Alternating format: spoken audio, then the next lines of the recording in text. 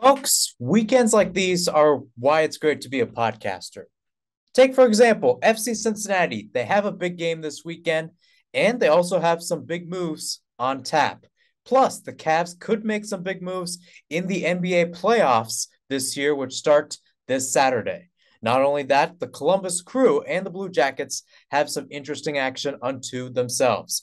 Welcome, everyone, to another episode of Buckeye Sports Breakdown. I'm Mihir Sinhasan. And before we get into that great action, we have a few quick hits at hand. So let's get to it.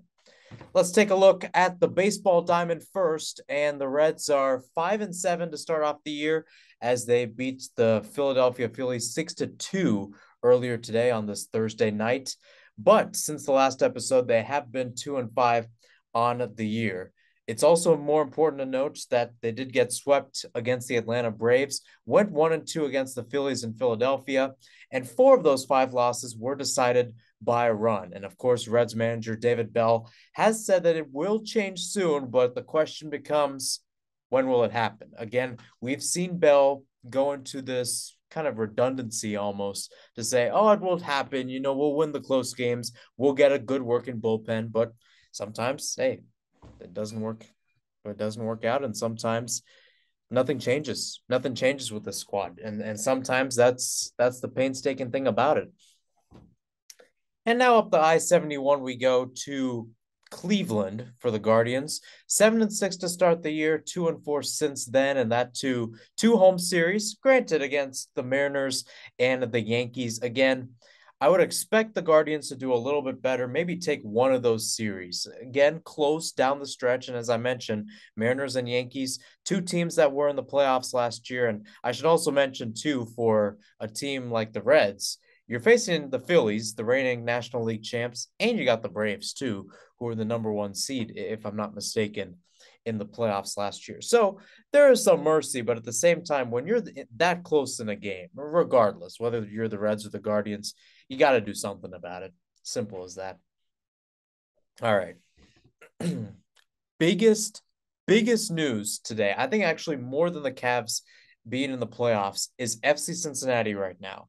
Not only are they at, the top of the East, top of the MLS with 17 points, fresh off another 1 0 win, this time off of Philadelphia Union. They're facing an interesting squad in St. Louis City SC. Earlier in the year, we would have probably touted this as number one in the West against number one in the East. However, St. Louis comes in with a chip on their shoulder with a disappointing skid, losing to Charlotte at home and then, or I don't know if they lost to Charlotte at home. Pardon me. They did not lose to Charlotte at home, but they did lose at home. I think it was to Minnesota, if I'm not mistaken. So they lost to Minnesota at home and then losing to Seattle on the road 3 0, where the Sounders just seem unstoppable, save for the one time they lost the orange and blue at TQL. Speaking of TQL Stadium, I forgot to mention that they'll be hosting some Gold Cup matches later this year, come summertime. Could be a U.S. men's national team game as I, I checked the schedule, or rather the venue list. City Park in St. Louis is also on there. So I expect they should get some games and probably will get a U.S. men's national team game. TQL might also be in the running as well. I know in the past, there has been a chance, or rather, in the past, especially 2017 and 2019, the U.S. has often done a couple of their group stage matches at soccer specific stadiums and then doing one in an NFL stadium. That could end up happening as well. Maybe Charlotte could be on the list to host that football stadium type game. Snapdragon Stadium in San Diego could also be on that list. Usually, we don't see the U.S. going to the West Coast, though, for Gold Cup matches. They tend to stay in the South and the Midwest, and sometimes the East Coast when it comes to the Gold Cup. So, nonetheless, back to FC Cincinnati. And the biggest news actually came earlier today with Brenner. He might be having a deal finalized going to Udinese in Serie A, which is in Italy. Again, we knew this was going to happen ever since Brenner came to MLS. He was a 21 year old. We said this is going to be the big move for him so he can kind of grow his talent in MLS in Cincinnati and make the move over to Europe. We've seen that a lot with a lot of players, mainly when you look at guys like Miguel Almiron, played a lot with Atlanta United, almost played MVP like if it wasn't for his teammate Josef Martinez. Won an MLS Cup there and then makes the move to Europe, playing with Newcastle United, doing pretty well. Could be playing in Champions League next year if they keep it up. But back to Brenner. Again, this move is not going to happen immediately. And again, for people who don't understand soccer and don't understand MLS, you have to understand how this window works. It's similar to how it works in like NFL and free agency, stuff like that. But you have to understand the European window has closed right now. So it's not like Brenner's getting on a plane to Italy and we have to say goodbye to him. He's leaving in July when the next window will open for MLS players to go over to Europe. So that will happen then. We'll still have some time for Brenner. It will be interesting to see how Pat Noonan definitely utilizes him down the stretch, where in the sense he's going to be making that move to Udinese and give or take a few weeks off. And then he's back to playing fall spring season, which, or in, in the sense September to May, in the sense that he did with Sao Paulo in his home country of Brazil. So it'll be interesting to see how Brenner is tabbed in that way. Again, all this info you'll hear right now is from Tom Bogert. He's an MLS reporter for a Bleach Report, Bleacher Report football, I should say. 18 goals, six assists in 2022. Again, that FC Cincinnati team last year was an absolute juggernaut, and he absolutely deserves it. When I talked about the idea of we expected this, we also expected it this year, knowing the types of offers Brenner's been getting. Again, after a great season last year, he and Brandon Vazquez have been under kind of speculation on whether or not they're going to leave the club for better opportunities. Vazquez has been able to stay with Cincinnati until the 2026 season begins. But we knew Brenner was going to leave the nest sometime soon. This being his third season with the Orange and Blue, it finally happened. After transfer offers from both PSV, a team in Netherlands, and Nottingham Forest, who is actually right now in the Premier League. But the deal goes for $9 million is actually kind of a loss for FC Cincinnati because he was brought in for about 13, 14 million. So that's an interesting deal, especially where Udinese ends up bargaining it. And it's an interesting deal on maybe who does FC Cincinnati try to get in that spot? Because we know that Brenner is a DP position, meaning that a lot of the money will go towards him. Brandon Vazquez is not a DP. And you've got a few other DPs on that that squad as well. My question is is with FC Cincinnati losing a DP, you essentially have one more role. So you have one extra spot in the DP. My question is do you take it for a striker or do you maybe show up the defense? From what we've seen this year, you probably want to find Brenner's successor, at least for a couple more years. For this year, I would definitely suggest honing in on whoever's there. And Sergio Santos has played decently well. I think he's had a couple of goals this year.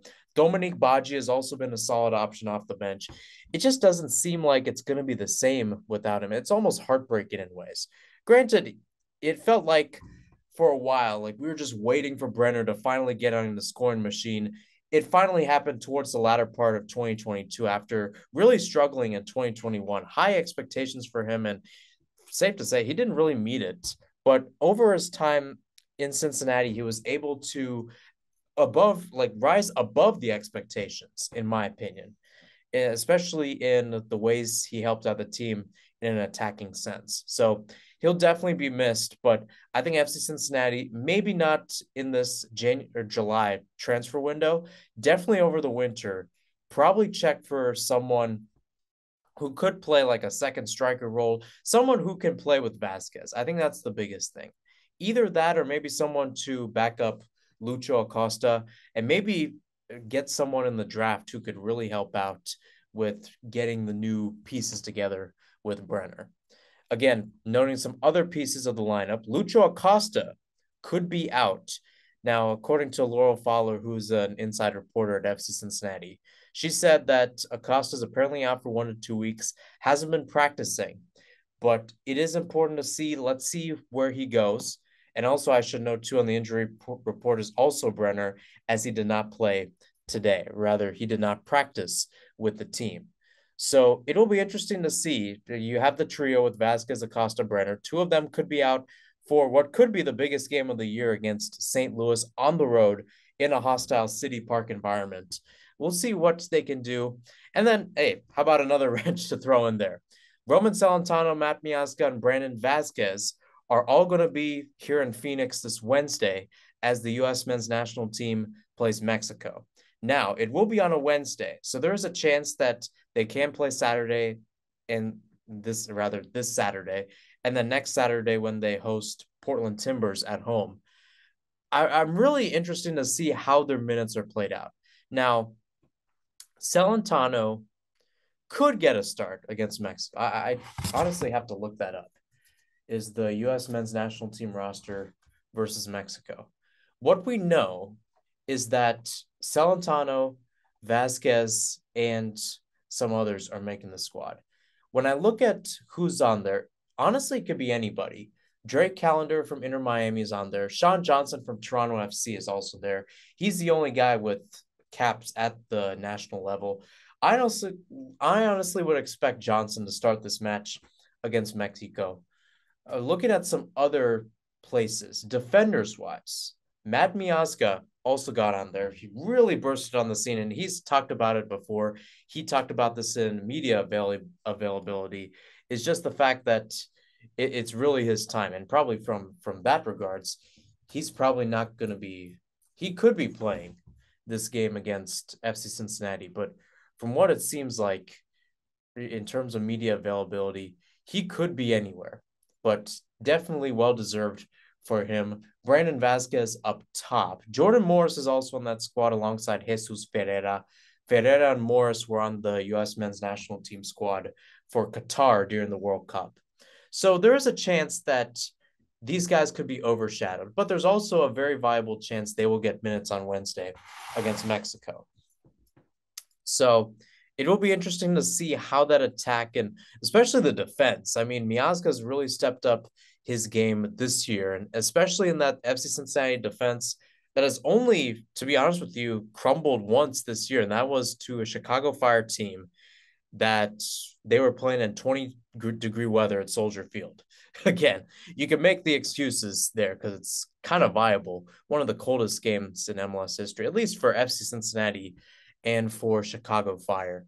But looking back to the Philly game, they dominated possession in the midfield, but I think there was no drive. And that's where if Obinna Nwobodo can come back for this game, he's your holding midfielder for the squad, been there last year when he came in in May. Wasn't able to play last week. It will be really interesting to see how this team performs.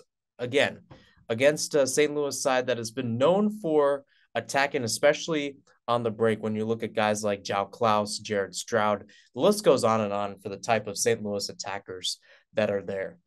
I think the biggest question is, especially on the road, you need a guy like Obinna Nwobodo that can control the pace, control the power, and especially with Lucho Acosta out, it's going to be interesting to see Vazquez and whoever ends up playing that second striker spot. Maybe it's Brenner, maybe Sergio Santos, but regardless, Someone needs to step up and control the midfield. That's got to be Obinna Nwobodo. Maybe Junior Moreno also helps out. Maybe Angulo, although he had a little wonky shift last week against Philadelphia. So it will be interesting to see what happens. But I do see FC Cincinnati walking out of St. Louis with a result.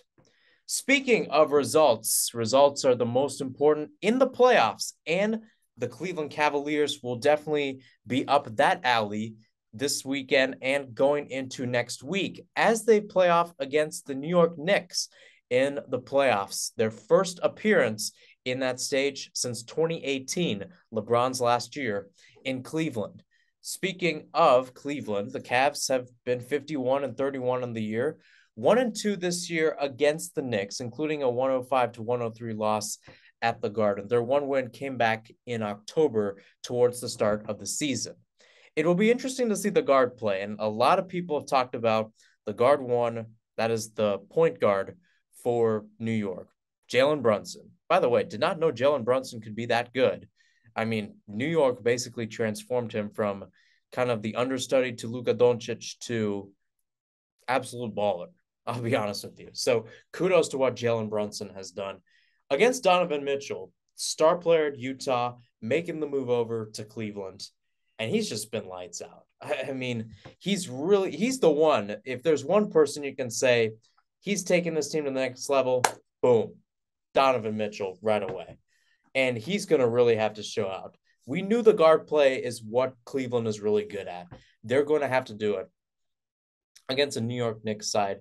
It will be interesting to see almost these teams that go like for like. Again, you talk about Brunson, you talk about Mitchell, but even like when you look at guys down low, Obi Toppin, Mitchell Robinson for the Knicks, and then on the other side you have guys like Jarrett Al- Allen, Evan Mobley, even Osman sometimes coming off the bench. He actually had 14 in the last meetup against the Knicks. Brunson led the squad, that is for the Knicks. Career high for him, 48 points in that matchup. So it should be interesting to see what happens overall. And again, I think the biggest question for the Cavs, they're, they're in pretty good company.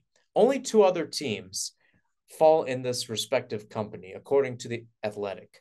And it's the sense that they have a top five off or top 10 offense and a top 10 defense.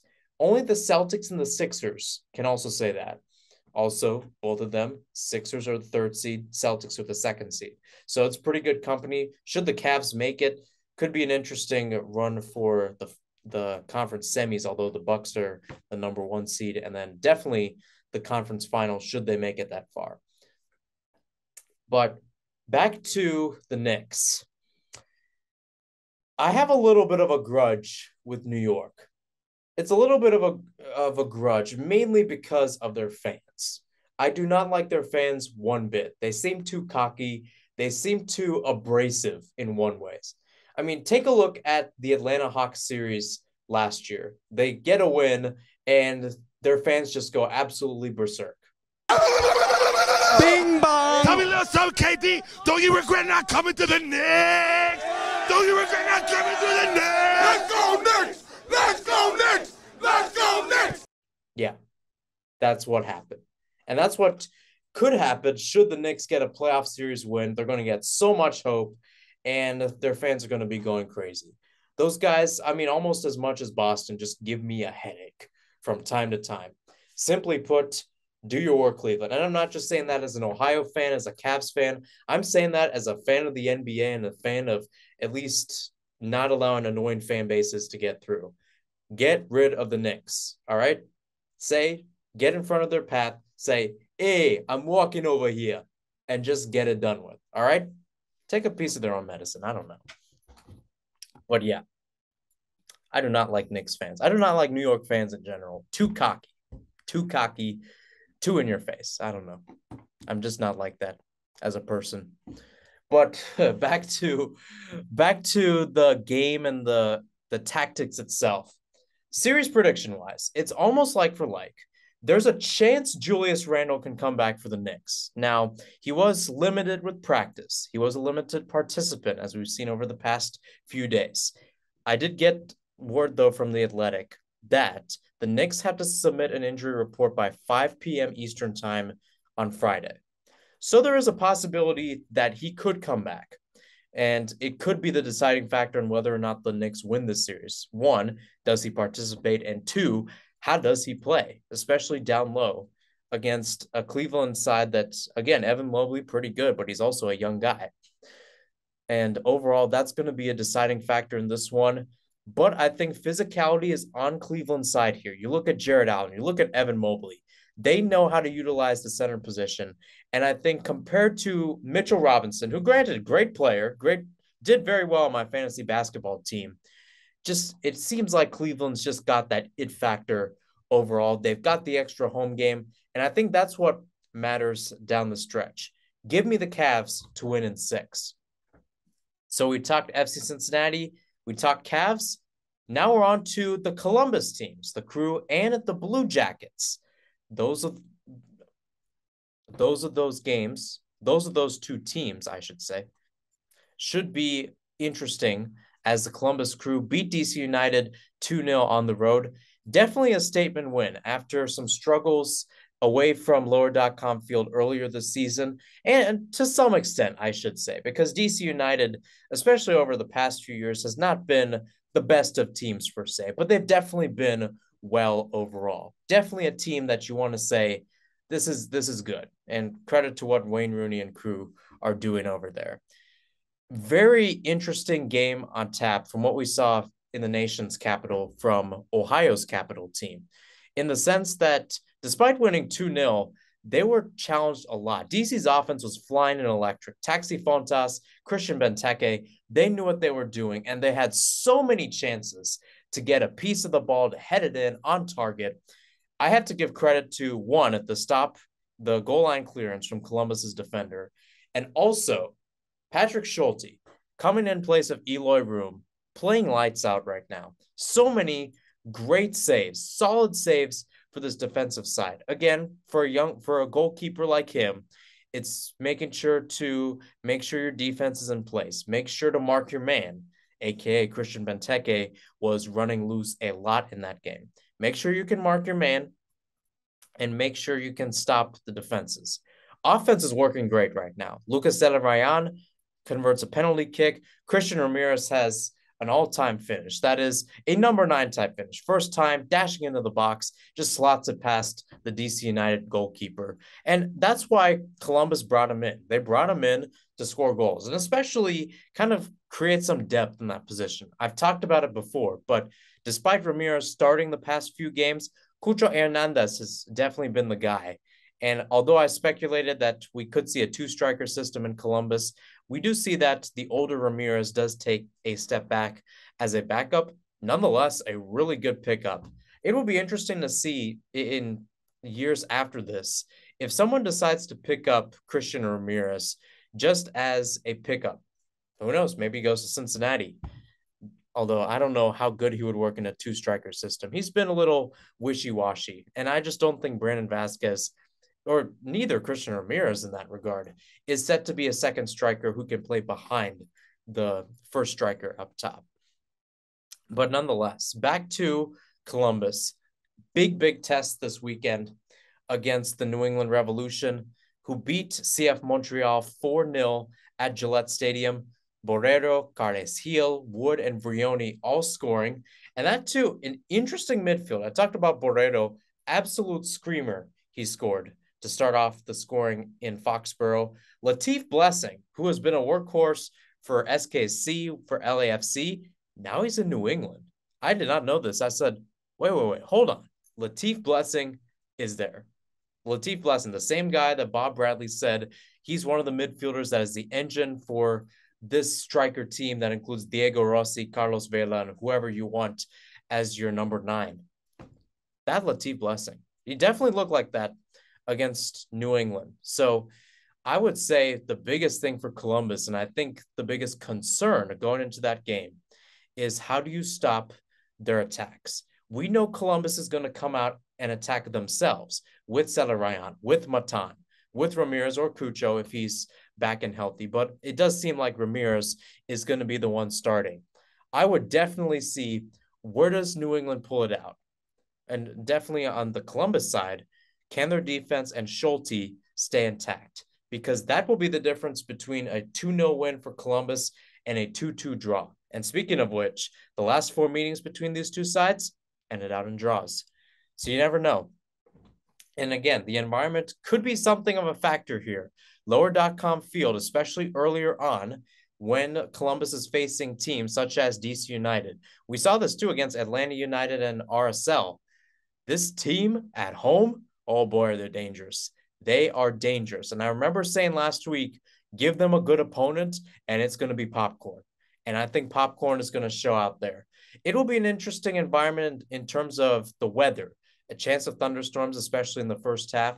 Should be temperature wise around the upper 50s, might peak into the lower 60s. So, typical football weather, you might get a little Mother Nature playing its role as well. But it should be a great game down the stretch. And I think Columbus is going to get a result. And I think it will just be enough to give them the result. Give them two to one. 2 1 Columbus wins against the New England Revolution. So we talked about one Columbus team. And now let's move on to the next Columbus team in the Columbus Blue Jackets. Beat the Penguins 3 to 2 in overtime today in front of another sold out crowd, more than 18,000 people on tap at Nationwide Arena. Johnny Gaudreau with the winner in overtime. Excuse me. But it's always the Columbus Blue Jackets are just an interesting enigma. And you're probably wondering why in the world do you not cover this team more on this podcast? Simply put, they suck. They're not good. They've got 59 points in the season. That's the worst in the East. Tied for the second worst in the league with the Blackhawks. Ducks are the worst right now with 58. Got one more game on the year as they host the Buffalo Sabres. That one will be at 7:30 Eastern on Friday. Back to my point though. This is a weird team and yet they have broken their trend of having overall average players. You get Johnny Gaudreau, Mr. Hockey, a guy that a lot of people touted and heck, even Columbus networks were saying, "Oh my gosh, it's going to be amazing out here. We've got Mr. Hockey, guy from Canada, guy from Calgary coming to town." Solid numbers. Don't get me wrong. Gaudreau's played well, 73 points in the year. Little bit, little bit less than say what Artemi Panarin was putting up when he was with the Blue Jackets a few years ago. At, at the same time, your de- the defense just confounds me. And this is a team that could have gotten Jonathan Quick. They had Jonathan Quick for like two days and said, nope, let's go to Vegas. You know what? You, you deserve better weather than what Columbus has in January. Valid point, but at the same time, you got to make a choice, man. You got to make a choice to say, you know what, Columbus, you've got you've got to do something on the defensive side. And I think that's what's the problem with this team. You have the names, you have Patrik Laine, you have Johnny Gaudreau, but you need the defense.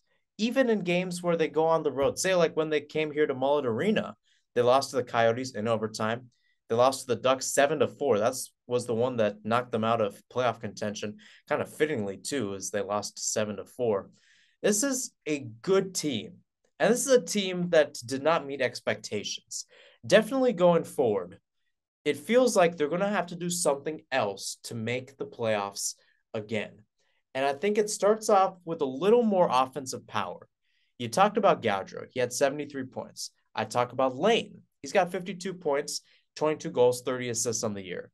Solid overall, but I think you need guys. And again, Columbus has got guys that could be playing like second line or third, like Boone Jenner. Boone Jenner, solid guy overall. But I think if Columbus truly finds themselves on a path to say, you know what, we can win games and we can, one, attract good players to the good state of Ohio, which I hate to say it as an Ohioan myself, but there's a lot of cornfields around Columbus. If you can attract players like that, I think you got a chance, but you need players to deliver as well. I talked about Artemi Panarin. At his peak, when Columbus was making the playoffs, he was averaging at least 80 points during the season. In the year that Columbus shockingly beat the Tampa Bay Lightning, swept them too, a Lightning team that a lot of people expected to win it all. It, it was tough. It was really tough for Columbus, or rather for other teams, because Panarin was putting up 82 points during the year. More than that, he had two other guys in the squad that put up at least 60 points. Simply put, this team is going to have to find some ways to generate some defense and maybe turn it into offense. They've had great players. I mean, don't get me wrong. You got Bobrovsky on that squad. You had Seth Jones a few years ago. They're definitely they have the ability to cultivate players. I wish hockey had what soccer has overall, like a great academy program, because it feels like the way hockey works, where you can get that kind of one on one action, grow close to a club, and kind of work through the homegrown process, it will work so great with hockey. Again, I could ask my guys like I know Sebastian Quinn, Kyle Krikorian, they could probably argue and say that's a stupid idea. But in my opinion, you could probably use it in hockey and it would work pretty well. But it, it just seems like from what we're seeing right now, it doesn't seem like Columbus is going to change it always seems like they're going to end out, even if they're not dead last in the league, they're dead last in the East, dead last in the Metropolitan Conference. I mean, you can you can work the way down. They'll be worst in some category against some teams in some way, in some fashion. And I think the question is, can they change it as they head into the offseason? That will be a definitely a matching point. Definitely a point to consider for the Blue Jackets if they want to try to revolutionize this team, revolutionize Ohio into a hockey state as well, and really kind of capsulate what these these sports and especially hockey is all about. We've seen this before, like with the 2019 run and in 2014 when they made the playoffs. Ohio can rally around a team when they're good, but when they're bad, it can get ugly. And for right now, it is really ugly for the Columbus Blue Jackets. So that's it of my coverage today on Buckeye Sports Breakdown. Once again, I was talking the Cavs as they face the Knicks in the playoffs starting off this Saturday at 6 p.m. Eastern. And hey, if you're right on the couch, might as well stay there. 8:30 p.m. Eastern. FC Cincinnati will be at St. Louis. Some other great games going on. Columbus finishing out. And as always, you got baseball, you got the Columbus crew. There's always something going on in the state of Ohio. It just seemed to be very extra special this week. I'm Mihir Sinhasan. Once again, thanks for tuning in to another episode of Buckeye Sports Breakdown.